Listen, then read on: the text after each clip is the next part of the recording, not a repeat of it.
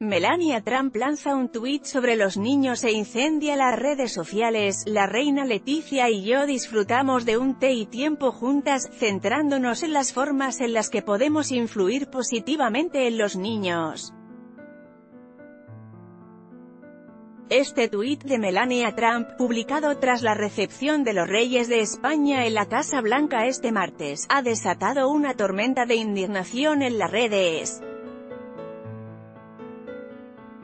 La frase habría quedado en una simple declaración de buenas intenciones y no hubiera sido escrita en un momento en el que precisamente los niños están en el centro de una gran controversia en el país, debido a que la aplicación por parte de las autoridades de la ley de inmigración vigente está provocando que los niños de las familias inmigrantes sean separados de sus padres al llegar a la frontera. Las críticas y las expresiones de indignación no han tardado en aflorar entre las numerosas respuestas que ha generado el tuit de la esposa de Donald Trump, la mayoría de ellas haciendo referencia al controvertido procedimiento al que se somete a las familias inmigrantes a su llegada a EU. Puedes influir positivamente en los niños denunciando la política de tu marido de separar a los niños de sus familias en la frontera. Por favor, contestaba una usuaria de la red social. Una de las respuestas más destacadas ha sido la de la alcaldesa de Barcelona, Ada Colau, que afirmó sentir vergüenza ante tanto cinismo, en relación a quienes cruelmente separan a niños de sus padres, haciendo referencia también a quienes sonríen a su lado, en la fotografía.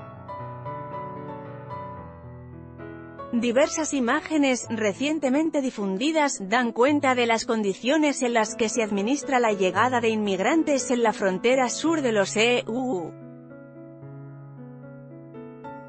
Los videos que muestran el uso de jaulas para retener a los recién llegados algunos de los cuales son menores a los que se separa de sus familiares han generado fuerte impacto en la opinión pública, que a su vez ha tenido un considerable eco en las redes sociales, en forma de indignación y polémica. En abril de este año el Procurador General de EU, Jeff Sessions, activó la política migratoria de «tolerancia cero», que establece la separación de niños de sus padres o tutores legales mientras son procesados por entrar ilegalmente a EU. Según un portavoz del Departamento de Seguridad Nacional, 1995 niños fueron separados de 1940 adultos entre los pasados días 19 de abril y el 31 de mayo.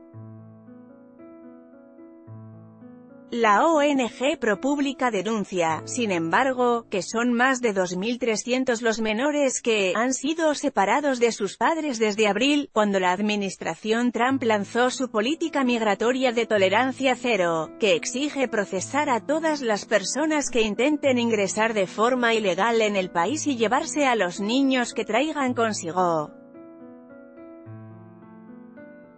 RT Actualidad